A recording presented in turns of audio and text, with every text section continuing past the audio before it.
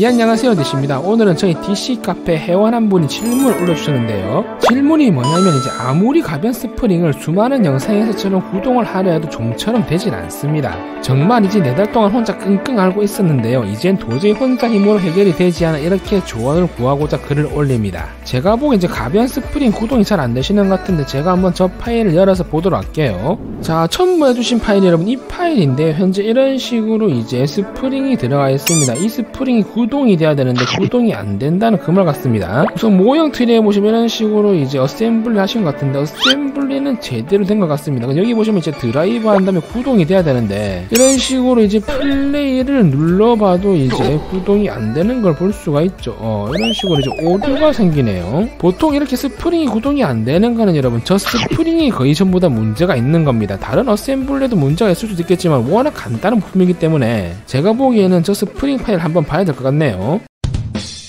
자, 그 전에 이제 이분이 배치한 것 없이 이런 식으로 이제 비스듬히 배치되어 있죠? 그림자를 보면 이런 식으로 아래쪽에 그림자가 생기는데 이렇게 비스듬하게 배치가 되어 버렸습니다. 기준이 되는 부품 배치하실 때는 꼭 이제 원점에 딱 맞게 배치를 하셔야 돼요. 이런 식으로 이제 비스듬하게 배치하시면 절대로 안 됩니다. 그리고 스프링 파일을 제가 한번 열어봤는데 이제 이런 식으로 모델링은 제대로 된 것 같습니다. 여기 보시면 이제 가변도 제대로 체크를 하셨고 다 제대로 됐는데 스케치를 한번 보면 이제 이런 식으로 요게 스케치가 되어 있죠. 여기 스케치가 되면 안 되고 요 끝 중심에 돼야 됩니다. 이건 제가 보기엔 다시 될것 같네요. 자 그럼 제가 저 치수 그대로 한번 다시 모델링을 해보도록 하겠습니다. 우선 이런 식으로 두 점 직사각형 그려주시고요. 중심선을 선택하신 다음 이쪽에 보시면 형식에서 중심선을 변경합니다. 그 다음 나머지 선 선택하신 다음에 구성선으로 변경해 주시고요. 그 다음에 요 끝에 요 끝에 이런 식으로 딱 찍었을 때 원을 한 개 그려줍니다. 이 원의 지름값은 이제 여러분 4mm였습니다. 아 4mm였고요. 그 다음에 요 지름값은 얼마였냐면 이제 40이었습니다. 그 다음 스프링 높이 값은 얼마였냐? 50이었죠. 근데 여기서 중 중요한 게 뭐냐면 50을 입력하신 다음에 선택하시고 꼭 연계 치수를 여러분들이 변경해 주셔야 됩니다. 이런 식으로 괄호가 돼야 돼요. 자 그리고 제일 중요한 게 뭐냐면 여러분 모형 트리에서 스케치를 선택해 주시고 마우스 오른쪽 이 가변을 꼭 여러분들이 체크를 해줘야 됩니다. 이런 식으로 체크를 하면 왼쪽에 이제 이런 식으로 이제 동그란 화살표가 생기실 거예요. 이게 꼭 여러분 가변으로 체크가 돼야 됩니다. 스케치 마무리 하신 다음에 왼쪽에 보시면 코일이라고 있죠. 이 코일을 눌러줍니다. 자 그리고 동작 밑에 보시면 방법이라고 했죠. 이 방법은 회전 및 높이입니다. 그 다음에 회전은 7개고요. 거고요. 여기서 중요한 건 바로 높이인데 높이를 여러분들 이런 식으로 50 이렇게 입력하시면 안 됩니다. 현재 스케치는 50이죠 여러분. 이 50 치수를 이런 식으로 콕 찍어주면 됩니다. 그러면 이제 이런 식으로 저 치수가 연동이 돼서 들어와요. 이게 어떻게 되냐면 만약에 이 스프링이 여러분 구동을 하면 이 숫자가 바뀌겠죠. 그렇기 때문에 이런 식으로 두 개가 연동이 돼서 서로 서로 바뀐다고 보시면 돼요. 이게 제일 중요해요. 그 다음에 확인을 누르시면 됩니다. 자 그럼 이런 식으로 스프링이 얼추 완성이 되었는데 모형 트리에서 눌러주신 다음에 스케치 눌러주시고 그 다음 마우스 오른쪽 아래쪽에 보시면 가시성이 있습니다. 가시성을 이런 식으로 켜주시면 되겠습니다. 자 그 다음 모형 트리에서 원점 눌러주신 다음에 XZ 평면 있죠. 선택해 주신 다음에 마우스 오른쪽 그 다음에 스케치 눌러줍니다. 위쪽에 보시면 형상 투영이라고 있는데 눌러보시면 여러분 아래쪽에 절단 모서리 투영이 있습니다. 절단 모서리 투영 눌러주시고요. 절단 모서리 투영을 다시 한번 눌러주신 다음에 스케치 마무리합니다. 그럼 이제 아래쪽 이런 식으로 보면 이제 절단이 된 게 보이실 거예요. 그 다음 돌출 눌러주신 다음에 프로파일 선택해 줍니다. 방향은 반전 선택해 주시고 그 다음에 아래쪽에 보시면 전체 간통이 있죠. 전체 간통 눌러주신 다음에 차지팝을 선택해 줍니다. 그 다음 확인을 눌러보시면 이런 식으로 아래쪽이 날라간 게 보이실 거예요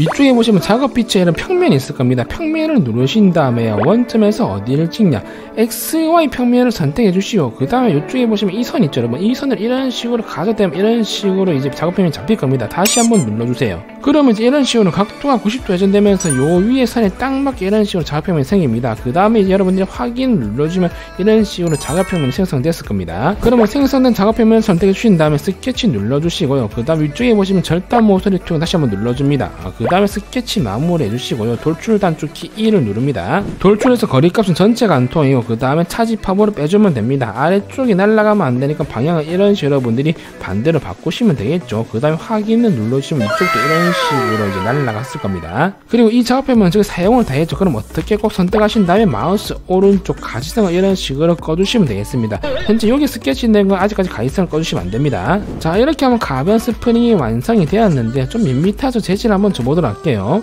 위쪽에 보시면 재질창 있습니다. 이 재질 아이콘을 눌러주신 다음에 아래쪽으로 내려보시면 크롬 연마가 있을 겁니다. 이 크롬 연마를 위쪽으로 이런 식으로 드래그로 옮겨주시고 그 다음에 부품 선택해 주신 다음에 크롬 연마 이런 식으로 찍어주시면 됩니다. 그럼 이런 식으로 아주 이제 예쁜 이제 스프링이 완성이 되었죠. 아주 반질반질하죠 자 그럼 완성된 스프링을 여러분들이 이제 원하시는 폴더 이런 식으로 IPT 파일로 저장을 우선 해주시면 되겠습니다. 자 그 다음 제가 조립 한번 해볼 건데 파일 누르신 다음에 새로 만들기 조립은 어디서 한다? Standard IAM입니다. 선택하신 다음에 작성 눌러주세요. 여기서 제일 중요한 건 기준이 되는 부품 파일 여러분들이 드래그로 이런 식으로 먼저 던지시면 됩니다. 자 그럼 이제 이렇게 부품이 들어오는데 현재 이런 식으로 어, 딱 맞게 들어오죠. 현재 view를 보시면. 아까 이제 이런 식으로 비스듬하게 들어와졌죠. 그렇게 되면 안 됩니다. 이런 식으로 딱 맞게 어, 딱 맞게 들어와줘야 돼요. 그림자랑 제가 반사값을 켜보면 이런 식으로 이제 어, 딱 평면에 맞게 딱 맞게 들어온 걸 볼 수가 있습니다. 자이 상태에서 제가 한번 또 조립을 해볼 건데 그 다음 조립할 부품인 스프링 누름을 제가 이런 식으로 이제 던지겠습니다 그리고 제가 방금 모델링한 가변 스프링도 한 개를 또 이런 식으로 던질게요. 자 그럼 우선 이 누름쇠부터 제가 조립을 해야겠네요. 이 조립이 이런 식으로 좀 돌아가야겠죠. 어, 돌린 다음에 이런 식으로 이제 구속 조건 배치를 합니다. 이건 mate로 이런 식으로 하면 되겠네요. 그럼 이런 식으로 고정이 되면서 왔다리 갔다리 하겠죠 그런데 얘가 이런 식으로 이제 마음대로 왔다리 갔다리 하면 안 되니까 이제 mate를 한번 더 줘야 됩니다. 이런 식으로 구속 조건 눌러주시고 요 윗면이랑 아랫면이 이런 식으로 찍습니다.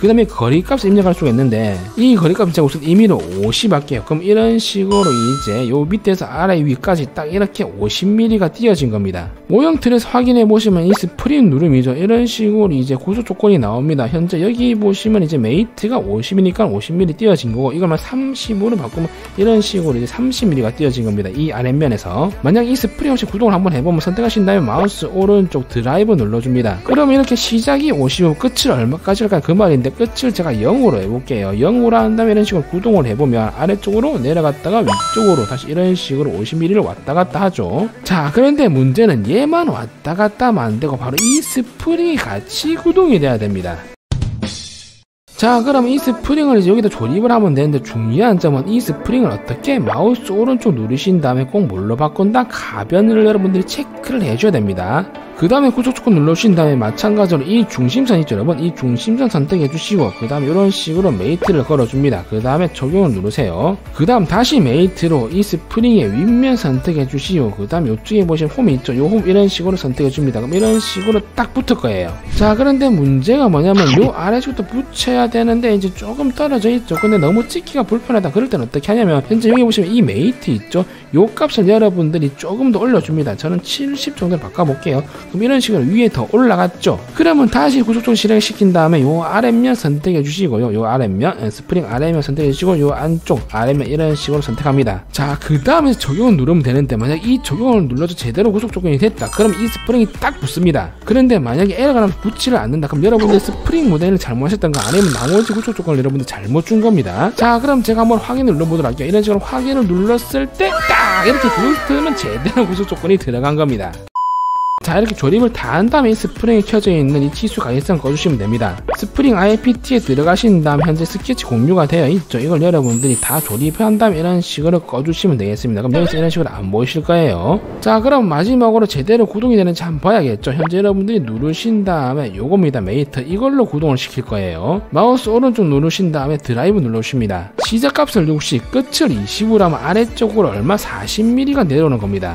플레이를 했는데 이런 식으로 가변 설정을 점검합시다. 이런 식으로 뜨죠 여러분 이건 어떻게 하냐면 아래쪽에 보시면 화살표가 있습니다. 이 화살표를 눌러주시고 근데 여기 보시면 가변성 구동이라고 있죠. 이걸 체크해 줍니다. 그 다음 다시 플레이를 눌러보면 이런 식으로 이야 엄청나게 스프링 구동이 되죠. 근데 문제가 뭐냐. 이런 식으로 내려오다가 뽕 없어지죠. 이거는 왜 그러냐면 여러분 현재 저희가 아래쪽으로 이제 40mm를 내려오는데 이 스프링이 여러분 더 내려갈 수가 없다. 그 말이에요. 이 스프링이 여러분 두께도 있기 때문에 더 이상 내려올 수 없다. 그 말이기 때문에 저는 이 끝을 한 30으로 해보도록 하겠습니다. 그 다음 플레이 보면 이런 식으로 아래쪽으로 어 30mm가 내려오죠. 자 근데 에러가 안 나죠. 왜냐면 현재 여기 보시면 이런 식으로 공간이 남잖아. 이건 말이 된다. 뭐 그 말이지. 그 다음 다시 위쪽으로 올려보면 이런 식으로 이제 스프링이 구동되는 게 보이실 겁니다. 아, 아주 신기하죠 여러분. 어, 역시 Inventor는 여러분 이런 식으로 이제 시각화가 아주 잘 되어 있어요 구동을 좀 더 전문적으로 이제 렌더링을 거실 분들은 환경에 보시면 Inventor Studio라고 있습니다. 이 Inventor Studio에서 여러분들이 이제 이런 식으로 구동을 한 개 한 개 다 설정을 하셔야 돼요. 그런데 이런 건 유튜버 강사 몇 분으로 배울 수 있는 게 아니기 때문에 최소만 한 달, 길게는 뭐 세 달 여러분들이 제대로 배우셔야 합니다.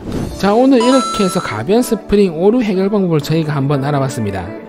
국가시험에서 여러분 이런 뭐 어려운 스프링 구동이나 어셈블리는 당연히 안 하지만 실무에서는 꼭 필요하고 유용한 기능이기 때문에 한번 제대로 배워보시길 바라겠습니다.